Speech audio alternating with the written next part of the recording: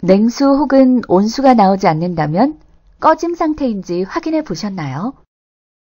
냉수 또는 온수 기능이 꺼진 상태에서는 버튼 선택 시 띠딩 소리가 나고 냉수 또는 온수가 나오지 않습니다.